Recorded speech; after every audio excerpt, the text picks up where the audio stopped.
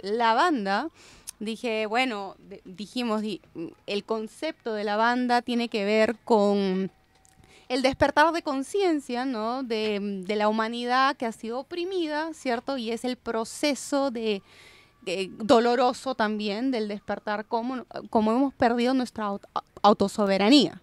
Entonces es un proceso mental, emocional, físico, energético y demás.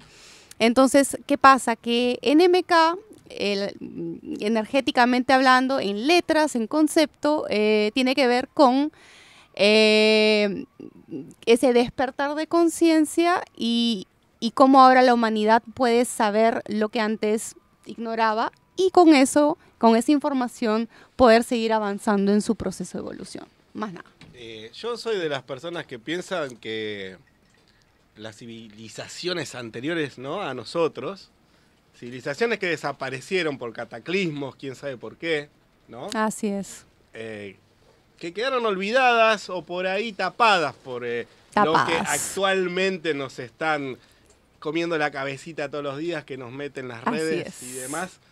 Eh, Re, las cuales son Claro. No, no, no, no, yo no. Pero, digamos, eh, ¿a qué edad alguien empieza con, con- con eso? Yo lo tengo bien claro por libros que leí de temprana edad y demás, y por ahí también ayudado por un poco por la música. Así ¿Cómo, es. cómo, cómo fue eso que fluyó en, en- en, digamos, en, en lo que es la composición y, y el referente de esto? No, no solamente musicalmente, sino eh, qué fue el, el Trascendentalmente, momento- claro. trascendentalmente que dijiste, acá pasa algo que hay que decirlo.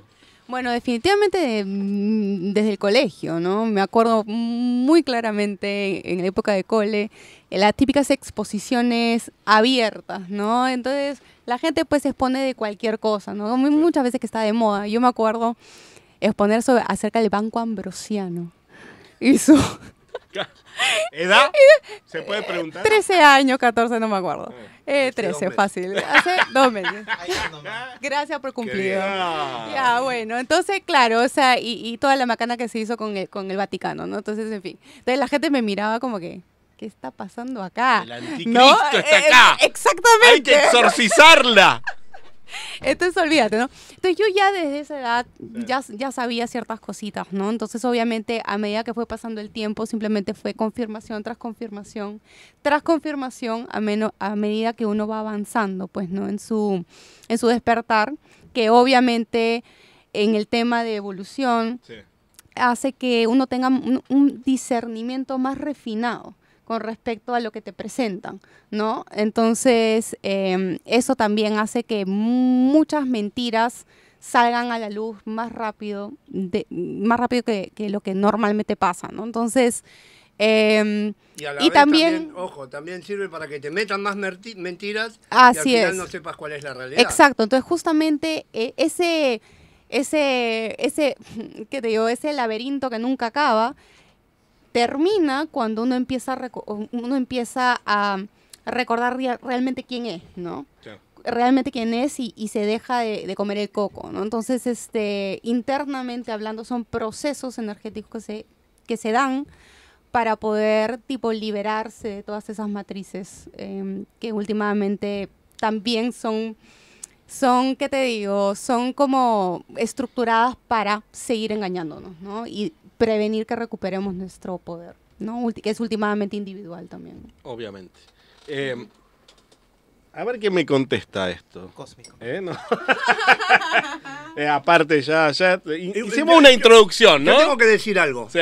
Yo tengo que decir algo. Sí. Espérense cualquier cosa de este hombre, porque No, es muy malo. no, no. Es muy malo. No. Es un hombre muy malo. Yo les aviso. Es un hombre muy malo. Espérense cualquier No, cosa. bueno. Y no se enojen. Péguenle a la No, no, salida. Muy malo, pero sincero. No, bueno. Transparente. Eh, en, el, en el tema composición y demás, de la, vi que hubo cambios de formaciones y qué sé yo. Eh, esto viene, la banda viene con, con esta impronta del 2015 más o menos, ¿no? 15 Ah. aproximadamente, o sea, Sí. 2013 fue cuando empezó el, El proyecto, Sí. el proyecto, claro, o sea, me acuerdo Sí. que saqué el primer disco, el solista, como Sí. 2012, 2013, 13, y de ahí cuando y tocábamos en vivo, como solista yo tocaba con Elías, el guitarrista, Sí. y con Lucho. Que no le gusta mucho hablar, me parece. Eh, claro, él está Claro. Mosen, Se quería ir a comer. Claro, no, no, dejes, no, vení no. para acá, encerrate No. allá. Lo Bueno. tenemos encerrado. Eh, ah, ah, Mosen, eh, muy evolución ahorita. claro. Bueno. Claro. Eh. ¿Y, y, y cómo, cómo se ensambló el tema compositivo y demás? Claro, eso, eso en el tema de composición 100% fue eh, Elías y yo. Elías y yo, ¿cómo lo manejamos normalmente? Era, yo me alucinaba la melodía vocal y la letra, ¿no? Entonces le decía a Elías, esto tiene, tiene un futuro, tiene un futuro. Entonces, este, nos juntábamos en casa, ¿no? Él con la guitarra, probando riffs, acomodando las cosas, fluyendo y lo bueno es que, por ejemplo, tenemos ahí un- unos opuestos, ¿no? Él es súper pro en cuestión de teoría musical, mm, ¿no? O sea, es bien técnico Claro. y yo fluyo, ¿no? Entonces, yo no estudié eh, música así como una carrera, ¿no? Simplemente... de, en- de oído, acá se llama Exacto. músico de, de oído, de, de, digamos, autodidacta. Autodidacta, sí, autodidacta. Entonces ahí este, él súper receptivo a mí, yo a él. Entonces ahí empezó, eh, eh, empezamos a, a pasar todas esas ideas, las grabábamos, ponte, y las pasábamos a Guitar Pro. Ese es el programa que utilizábamos. Claro. Ajá. Y, y bueno, y así compusimos esas canciones de- Sí. del Ravenous Spectre, que es el álbum que tenemos, que se, lo sacamos en el 2018, que es este de aquí. A ver, muéstrelo a la cámara, por favor. ¿Está acá? Y a esta Ahí, también. ahí, Aquí. A cualquiera de esas y a ahí, esta también. Y acá. Aquí, aquí y para acá, para ahí. Así. Muy linda portada. Muchas gracias. Y bueno, Em, y trajeron estos regalos, trajeron también... eh, Ah, ahora sí. después vamos a hacer algo que no hacemos habitualmente, una firma en vivo, ¿no?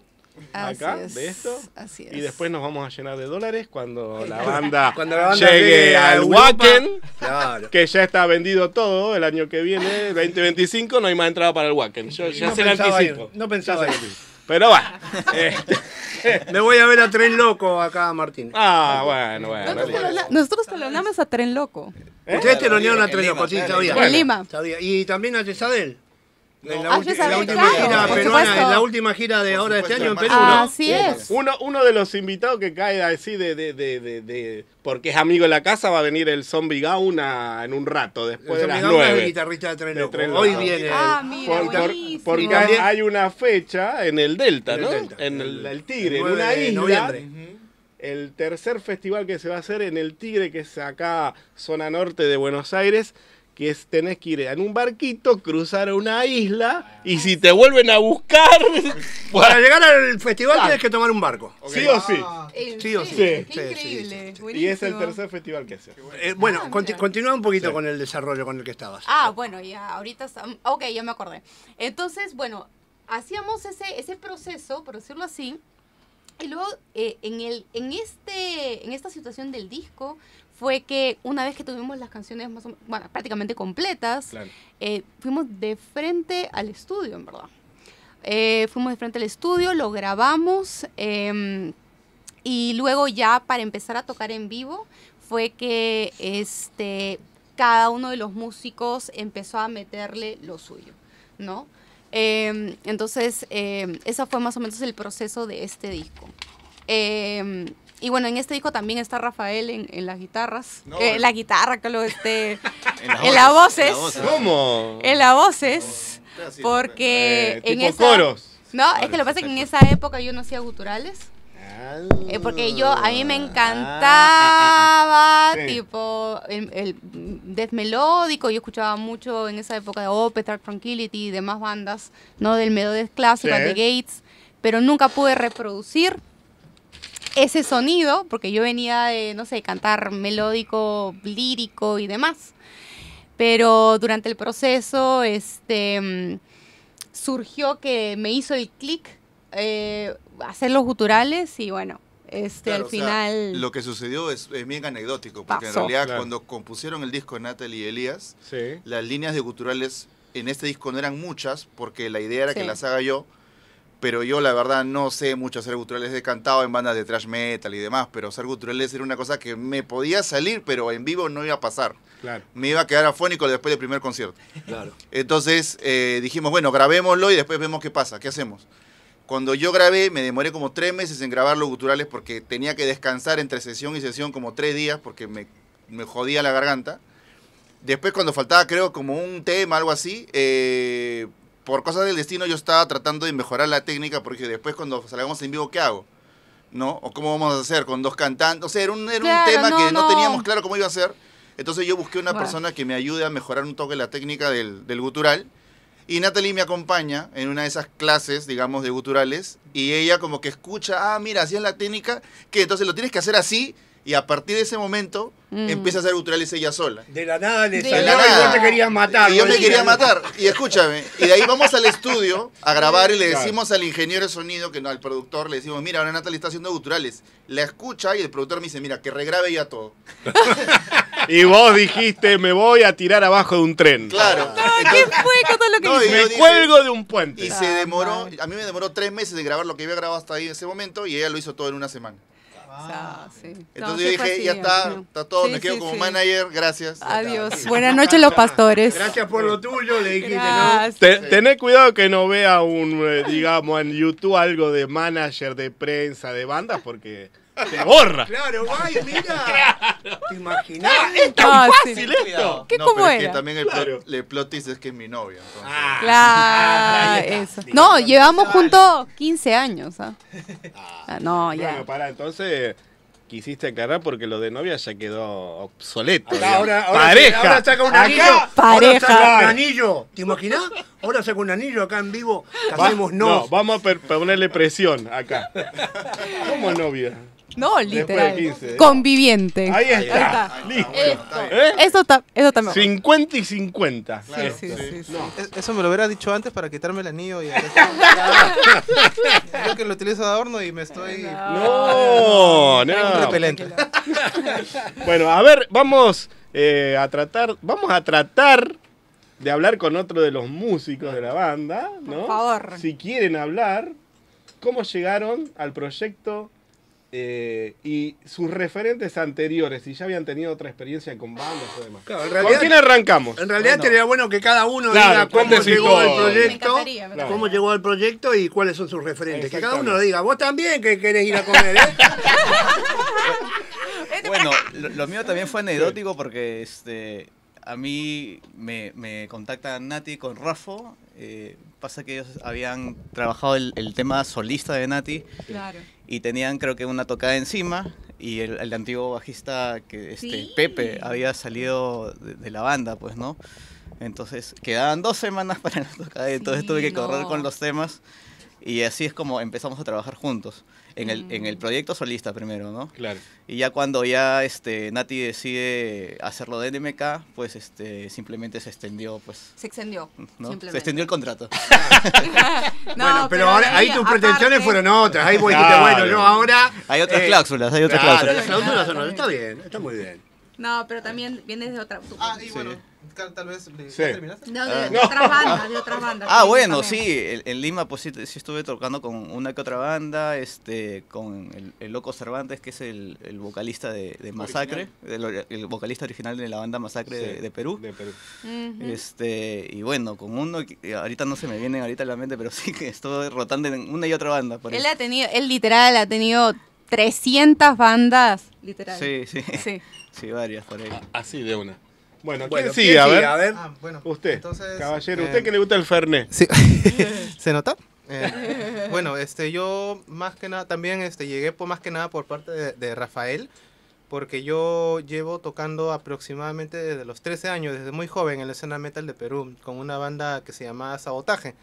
Solo que, bueno, ahora ya no tocan, pero en su momento como que, digamos, fue un poquito relevante, ¿no?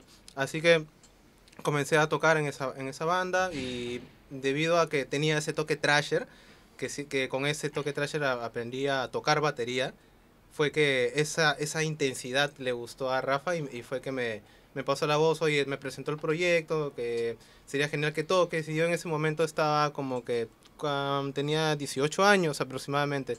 Y estaba El con la perspectiva... ajá, Claro. Estaba con la perspectiva como que, ah, qué genial, me quiere pasar la voz, entonces voy a ser sesionista, ¿no? Genial. Entonces, Sí. este, al principio sí fue así como que algo más de trabajo, quedamos acá, ensayamos, nos afectamos muy bien, pero luego Rafael, este, eh, hicimos tanta química con toda la banda, con Claro. Lucho, con Nati, todos Ujú. súper amigos, somos, o sea, la primera vez que nos vimos fue como que genial, o sea, nos cono- parecemos que, no, que nos conocemos de años. Claro. Así que me dijo, este, ¿te gustaría formar ya parte del proyecto? Y yo le dije, claro, encantado. Y, y desde ese momento ya estoy acá en, en la banda, ¿no? ¿Eso qué año fue, este? ¿Eso fue Es- 2018? ¿19? 17 fue. 17, a ver, 17, tengo ¿no? 26 menos... Sí. 2017 fue, mira. Eh, por favor, que vayan anotando así corrigen un poco Sí, la- el cronograma, el el presquí, la biografía de la banda y Sí, todo. sí, sí. ¿Eh? Por favor. Pero que ya- ya que y- están corrigiendo cosas. Y hablando del currículum de Diego, Diego actualmente es uno de los bateristas top en Perú. Toca en, en- ha sesionado, ha grabado un montón de discos, Claro. toca con un montón de bandas. Aparte, o sea, él, aparte de tocar en NMK, toca en otras bandas donde también forma parte de la banda, pero como sesionista, sesionea con la mitad de la banda. Ahora, por ejemplo, que vinimos a Buenos Aires, él decía, yo creo que acá me quedo porque me encanta la ciudad. y le dije, mira, te quedas No. acá y 300 bandas se quedan sin batero. Olvídate la escena peruana cae. Claro. No. Sí, Ah, tal cual. sí. Este, y nada, actu- actualmente como para comentar tal vez un poquito que estaba hablando de eso, Sí. toco también con una banda que se llama Miserable de Perú. Y también con qué otra banda más. Estoy como Lucho que se me ha olvidado ahorita qué banda. Bueno, ustedes, ustedes están juntos en otra Ah, banda. con Demi- con Demiurgo. Que es este. Que el es black- estilo que es es black metal. Con, con Evil Dam también. Evil Dam de ¿Qué- qué- Abigail. Lo que, lo les estoy preguntar, por preguntar ahora, Sí. cortando un poquito, tiene Sí. que ver, ¿cómo es, es, es grande, es amplia la escena metalera en Perú? ¿Cómo, ¿Cómo se desglosa? ¿Hay muchos lugares donde tocar? ¿O está todo en Lima, centrado? Mira, eh, y, y contesto yo porque Sí, eh, exactamente. sí, por ahí yo tengo mucho tiempo en la escena metal peruana. eh, Y de ahí falta Die- Viejo. claro. Sí, sí, sí, Sí, ahora, seguimos, ahora con. Este es como que un Breve, paréntesis. breve, Viejo. Claro, claro. Mira, la escena metal peruana sí es cierto que está bastante centralizada en Lima. Eso no significa Claro. que en, en otras partes de Perú hay muchas bandas. Lo hay, pero digamos, la mayor eh, movida está en Lima.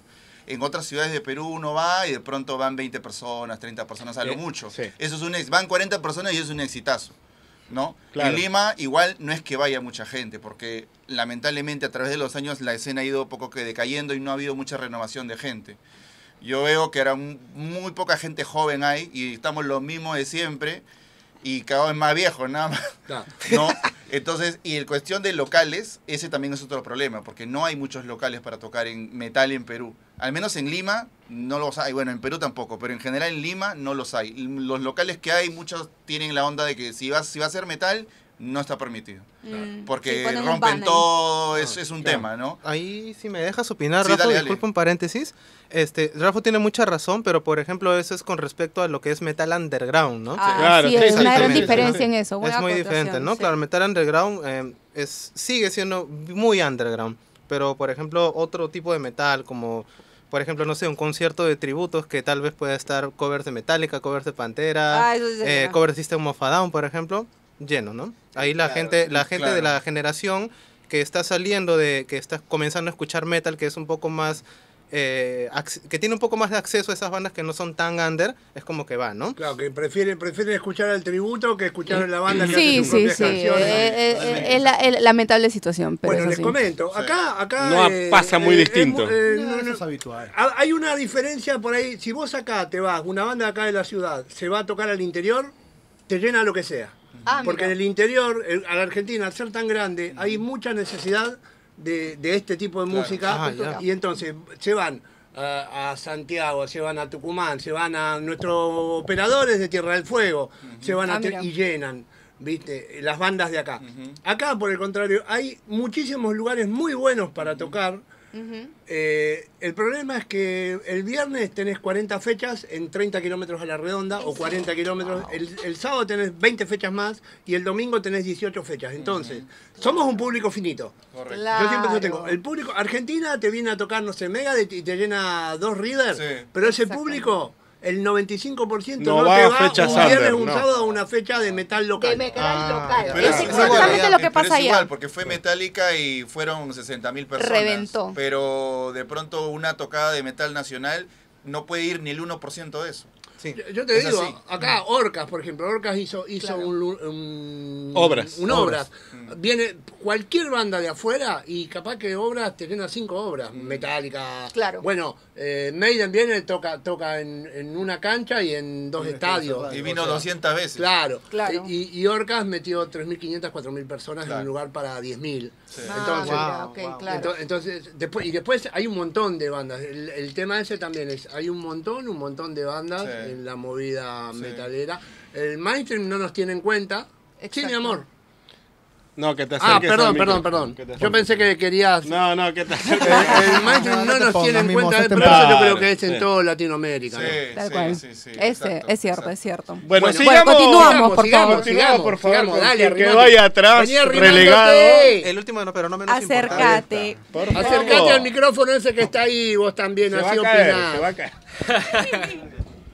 Bueno, querido. Bueno, prese- preséntese y ya lo que estábamos hablando del tema de referente, de, de, Claro, de y dónde cómo vino, llegaste a la cómo banda. llegó. Claro, claro. Bueno, mi nombre es Diego, soy el nuevo guitarrista de RMK.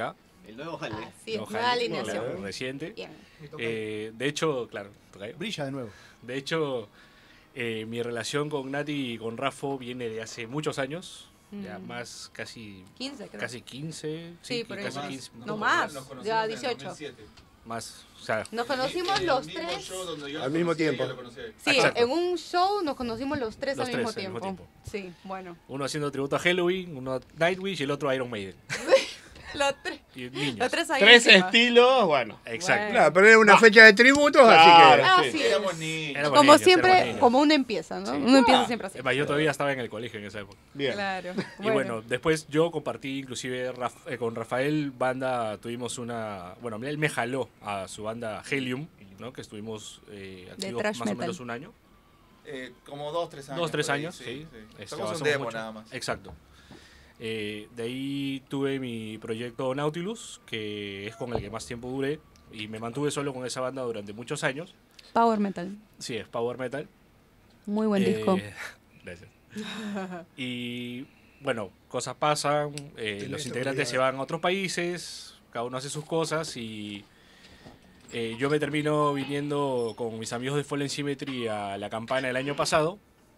Eh, Así es. y en mi regreso eh, es donde Natalie y Rafa me, me reclutan prácticamente, me, me citan a su casa y me, me hablan sobre si me gustaría formar par- parte del proyecto. Sobre la iniciativa de Avengers. Y eso fue, Exacto. Claro. eso fue el regreso de NMK después de... Sí, lo que pasa Después que... de la pandemia. ¿no? Sí, lo que pasa es que nosotros en verdad la última tocada que tuvimos ante- antes de la pandemia fue el mismo marzo, creo. Sí, Febrero, marzo, Marzo del del 2020. 2020.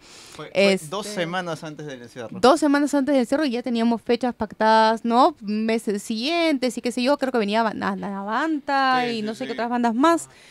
Eh, pero bueno, nos cayó Claro. como baldosa agua fría a todo el mundo y este y estuvimos cuatro años en para, ¿no? Cuatro Sí, años. sí. Eh, Dura- durante la pandemia estuvieron en un Genesis Fest. Sí. Sí. Así Toca- es. ¿Eso lo grabaron durante la pandemia o ya era algo que tenían grabado? No, no, no. Eso fue durante la pandemia. Ah, sí, se fue durante la pandemia. Exclusivamente para, exclu- para o sea, el- se, para re- el- se Sí, juntaron Leo- exclusivamente para grabar Sí. eso. Sí, cual. le- porque este fue con, con el contrato con Rafa, Leo. Leo este nos invitó, pues no, fue así. Sí, sí, Eh, claro. Que nos invitó y bueno, nosotros felices de, de- de poder participar, ¿no? Fue, fue increíble. Eh, y nos gustó mucho la respuesta del público, claro, y había, había mucho público, obviamente, argentino, ¿no? Entonces, Sí. este, era la- de repente la primera vez que, que mm, nos escuchaban, ¿no? Que escuchaban las canciones y, y pues no- nos sentimos bastante emocionados, ¿no? De que, Sí. de que, tu- de que Eso hubiera una respuesta fue, así. Eso fue una de Sí. las cosas que provocó la pandemia, ¿no? A nivel Sí. mundial, que las bandas pudieran hacerse conocidas fuera de su ámbito lo- debido a todo ese tipo de streaming, ¿no? Hechos acá en Argentina, yo supongo que en, en Perú también habrá habido Sí, algunos también, Sí, también, claro. bastante, hubo, sí. Eh, acá se hicieron el, eh, bueno, el Metal Argentum y el de Leo Jerez, y saludo a los dos. También Gonzalo cumplió Venezuela- año. Un Venezuela Metal Fest Sí. se hizo también acá. Sí. En- Entonces, yo creo que esa fue una gran, gran herramienta para las bandas, ¿no? Vos Sí. podías de golpe ver una banda de Angola y una banda de Perú Sí. y una banda de. Argentina en, en tres horas de estar prendido a la compu. Porque no podías Exactamente. salir ni a la puerta. Y, y de todos los estilos, aparte. No, Era y aparte era una- genial. Sí. Discúlpame, Sí, que, te, no, no. que te corte, ¿no? De que era genial que tenías la interacción ahí mismo, ¿no?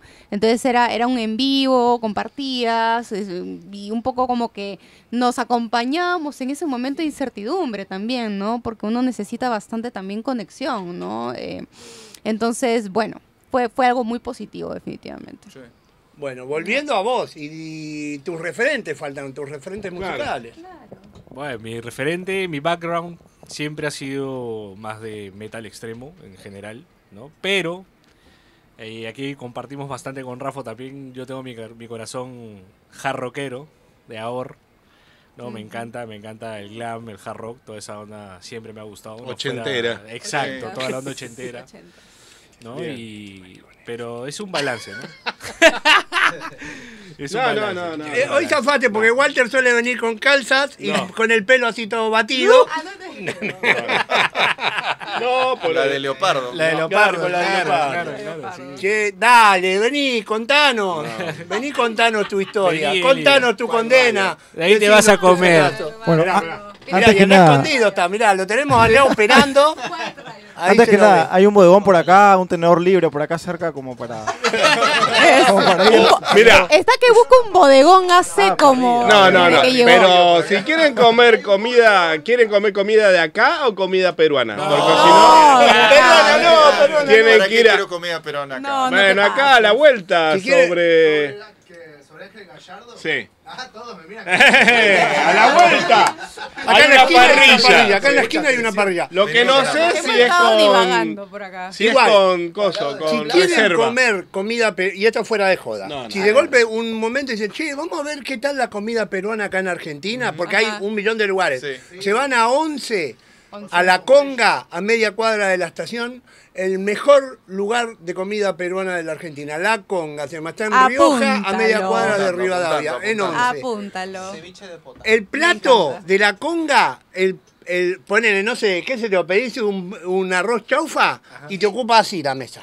No te, una fuente. Es una fuente. Un plato Pero cuatro. vayan temprano porque hay Claro, cola. ahí Una se llena, cuadra, se media llena. cuadra de cola Se- de los miércoles O sea- comunidad peruana. Pero se llena, no peruano solamente. Yo, Sí, yo no, soy no, no, argentino, bueno, he pero- ido varias veces con amigos. Está bueno. El, eh, el mejor lugar. Acá en el Abasto hay muchos lugares eh, de comida peruana, pero la conga les pasa. La-. Y no que esté haciendo publicidad eh, a la conga. Eh. No, no es Aunque por nada, que No nos pagan publicidad. es auspiciador. Salieron No, los. Así que bueno, vamos con el que lo tenemos allá oculto. No se lo va Elías, a ver. Elías, Elías Checo. Elías Checo. Elías soy, Choco. No, aparezco por acá. Ah, ya de una vez. Ahí está, ¡Oli! mira, ahí está. Habla por el micrófono del, del Sí, sí. operador. Claro. Eh, ¿Puede hola, ser? Bueno, soy Elías. Yo entré a la banda en el... Bueno, empecé a tocar con Natalie en el 2012. Nati Rafa me, me llamaron, me avisaron. Ellos eh, querían un guitarrista para su proyecto. En ese momento era el proyecto solista de, de Natalie. Estaba haciendo su disco de versiones de, de canciones que, bueno, le influenciaron. Así es. Y eh, fue Coco Rengifo, que era un profesor mío de guitarra, que me recomendó con ellos, me refirió. Ellos no sabían de mí, nos juntamos a conversar y ellos me mostraron en ese momento The Fraud, que es este, la canción que Natalie compuso más o menos por ahí, ¿no? Sí, 2012, claro, exacto. Con Pepe Gaso, con Pepe que es el bajista de Nautilus. Ajá, Ujú. bajista Nautilus, que fue el eh, bajista en ese momento. Sí. Ellos compusieron esa canción, The Fraud, que fue como que la base para el sonido de, de NMK, y eso creo que fue lo que me enganchó, ¿no? Porque sabía que podíamos encaminar por ahí el, el tema de, de- de- de la composición. Así es. Eh, entonces sí, fue así como, como empecé a trabajar con Natalie y bueno, más adelante se formó NMK eh, a través de las composiciones y, y a través de, de este nuevo sonido que habíamos encontrado. Así es. Bueno, ¿y tus referentes musicales? Eh, bueno, me gusta. Me gusta bastante el progre. Eh, también el, el. Sí, sí, sí. Dream Theater, Symphony X, este. Bueno, un montón de bandas de ese estilo. Mm, mm, bueno, no, no tanto. Un poco más metal, más metal que, que- que rock. Pero sí. Eh, bueno, ese es de Lucho, ese es Lucho. Lucho, Y Lucho es el este, también- loco. El, el Bien. me gusta el Trash también, me gusta el power un montón, toda esa Mm. onda, sí, sí, sí. Lo- bien Muy melódico. Bien moderno. Lo melódico me gusta un montón, Así es. sí. Bueno, y Muy bien. Está bueno. bueno, vamos eh, con el tema de por qué están acá en Ar- Claro, justamente. Volvamos, ¿por qué están en Argentina? Volvamos ¿Dónde van a tocar? claro. Ajá. Cu- cuéntenos, peripecias del viaje, no sé. eh, llegaron Ay, Dios mío. cada uno por su, digamos, no, no llegaron todos juntos. No, no, no. Primero, primero llegamos yo, Rafa y Dieguito, este, Diego Porturas, eh, y luego se nos acopló, eh, no, claro, no, die- eh, llegamos en un vuelo nosotros tres, luego co- eh, Diego con Ingrid, eh, perdón, Lucho. con Ingrid, y de ahí recién hace, ah, ¿cuándo fue? Al hace un par de días. El viernes.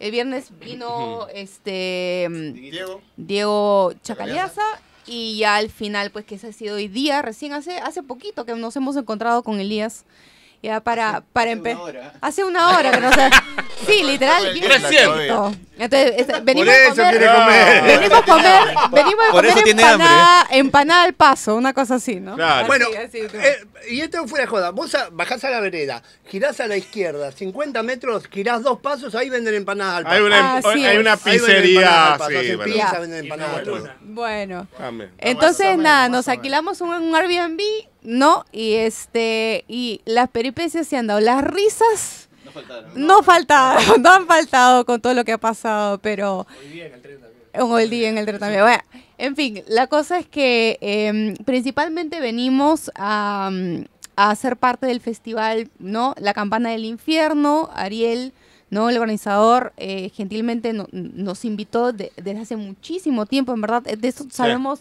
del año pasado, Ya inclusive, casi ¿cierto? Un año, casi un año que conversamos con Ariel. Y, Sí. Y, y ya estamos acá, mira. Claro, no, y eso también, ¿por qué? Porque lo que pasa es que, como decía Diego Chacaliaza, Diego, eh, que nosotros le decimos Panchi de cariño, porque Diego, Diego, ¿no? O sea, Diego y Panchi. Entonces, bueno, ya, entonces, sí, sí, por favor, de una no, vez. no. Entonces, Sí. eh, claro, entonces, este, eh, como contaba él, eh, el año pasado vino con Fallen Symmetry, ¿no? Que también se presentó ahí. Claro. Entonces, los, de, los chicos de Fallen Symmetry son muy amigos nuestros. Gustavo, Tocaron el cantante. En el, ¿no? y Ah. En Casa Colombo también. Claro, ah, yo te vi en el marquite, vi. monstruo. Ahí está. Chévere, chévere.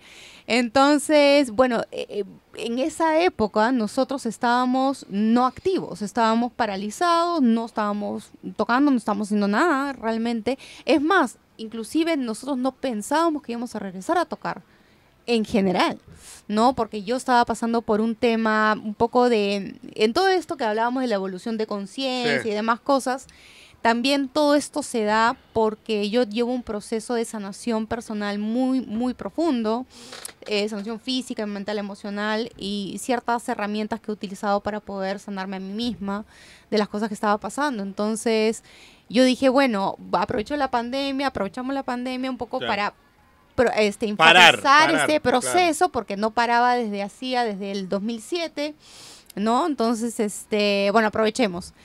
Y em, pasa que Gustavo, que es el, el- el- el vocalista de Fallen Symmetry, que es muy amigo de Rafa y mío, eh, decía, pero este chicos, anímense, no sé, de, hay esta posibilidad, no sé qué, y también nos decía acerca de em, lo de la tocada de Jezabel, que venía, claro. que venía a Perú, y en este festival que se armó, que era el Heavy Metal Vortex, eh, que es la segunda edición, que lo, así que lo organizaba el, el bajista de Fallen Symmetry, Brian, este, quería que estuviéramos presentes en esa edición, ¿no? Entonces, Nos sacaron del retiro. nos sacaron de retiro, literal. Sí, Gustavo, básicamente, Gustavo Sí. nos dice, mira, nosotros queremos que ustedes estén en el Heavy Metal Vortex con Jezabel y también si se animan, eh, a mí Ariel me ha pedido que le recomiende una banda y me parece que sería una buena oportunidad para ustedes.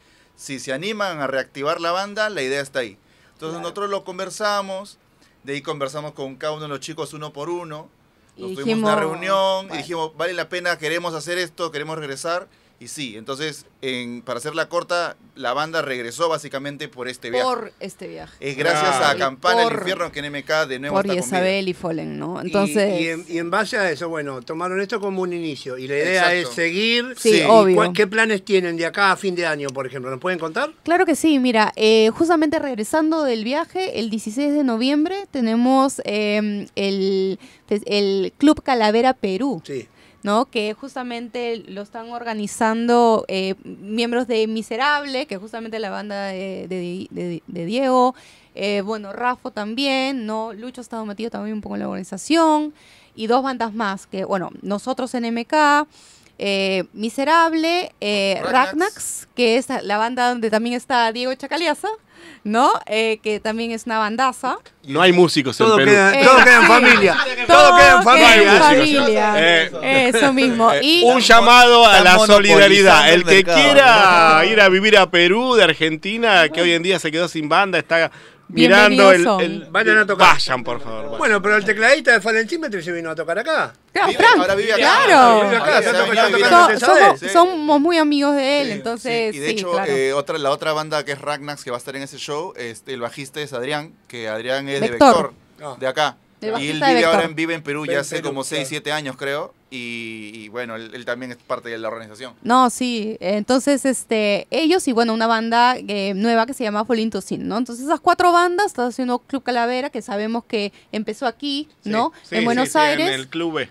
Exacto. eh, exacto. Sí, Sí, y, de hecho, Adrián, Adrián de Vector se contactó con, con- con los organizadores, la persona encargada del Sí. Club Calavera. Le, le presentamos la idea, hagamos un Club Calavera Perú para poder usar el logo, Sí. y tener su permiso. Y lo dieron, están todos al tanto, de acuerdo. No piensen que nos hemos robado el logo ni el no ha nombre. sido plagio, no, ha sido están, plagio. están de acuerdo y bueno, gente muy copada, la gente del Sí, club sí, y están, digamos, Chévere. una manera de extender, extender, de extender sí. justamente la idea del Club Calavera que nació acá, ahora Perú. No, y también Claro. obviamente el poder este inspirarnos mucho de, de lo que se hizo aquí, ¿no? Eh, de cómo se reactivó eh, lo que yo entiendo, lo- ¿no? La escena.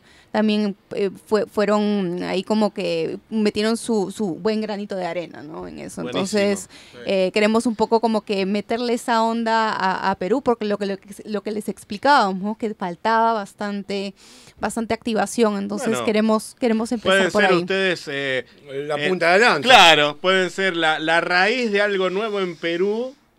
Y ojalá que sea así, Sí. porque la onda que tienen ustedes, la verdad Che, que y se- conductores del programa atrás. falta porque nos mandan este para allá, ¿eh?